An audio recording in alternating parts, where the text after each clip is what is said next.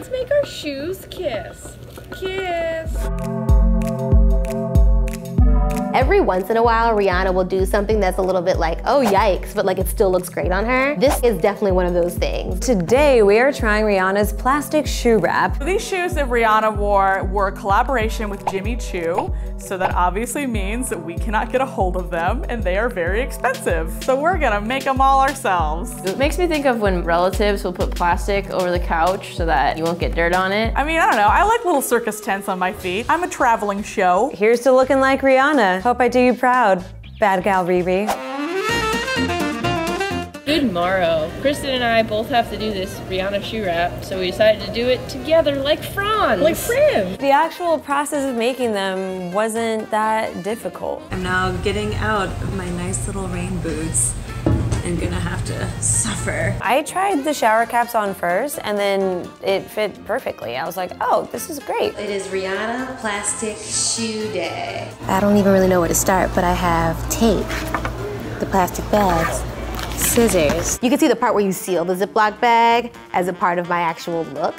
So I just, you know, I leaned into that and that was the unique look that I was going for. Making the shoes was really easy. Kristin was using plastic bags. I was basically using shower caps. Kristin's gonna be way more high tech than mine. Ready? Bust the heel through the plastic. I'm gonna tuck the sides of the plastic into the shoe. This back section, I don't know what to do, but I think I'm just gonna leave it as so because it's gonna be Fred's twist on the Rihanna plastic heel, which means it's not exact. I imagine that if I had a little bit more time and maybe like three hours at the craft store, I probably could have come up with something much better, but I didn't. I'm a resourceful lady, I make stuff work. They kind of look like you're visiting a model home today. Yeah. like I'm a fancy bitch, but this is someone else's carpet. I think we did it. Now time to strut my stuff around the office. See what people think. A lot of people were confused by the look. I had confused looks from afar of people just being like, What's going on?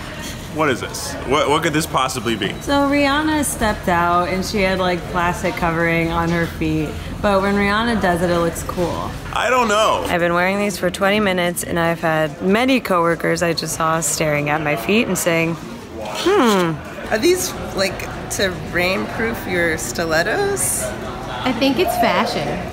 So much noise. Why so much noise? I just felt more more silly than anything. So part of me wants to just like rip them off and then strut around in these heels just to be like, I can do this also. I don't only wear heels when there's shower caps on them. I have noticed a few weird looks from people because I'm wearing these. Um, certainly people are a little bit confused. I don't think people realize that it's just because I am very fashionable. Why are you holding a bag? This is my purse. Okay, when Rihanna wore this, she had a clear bag too. Yeah, but that's a Ziploc bag? I also use the Ziploc bag as a purse as well. So I kind of had like a pair up happening. I had like Ziploc bag shoes, Ziploc bag purse. It's a look. It's a look. Okay, I didn't like the bag look, so I tucked the bags into the sides of my ankles. Those shit's about to get sweaty. Oh crap, I have to go to lunch looking like this. I have to go to lunch with you dressed like this. We're going to lunch. I straight up hate heels and I don't like walking in them and I think they're very uncomfortable and they hurt my feet. Do the Rihanna walk. yes. Yes, yes.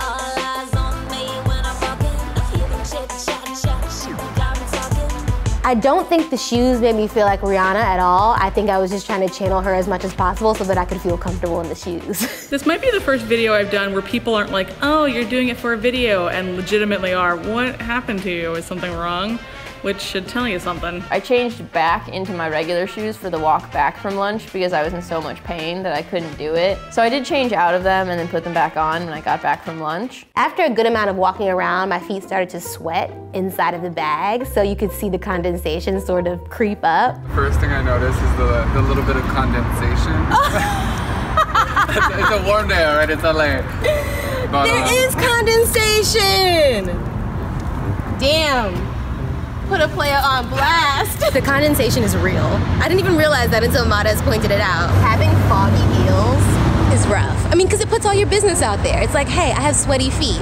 No one else needs to know that. Wearing plastic bags on your feet, not fun. Very hot. It was like wearing socks that don't breathe at all. People have been asking me all day if I'm going to return these shoes afterwards. How do you feel in them?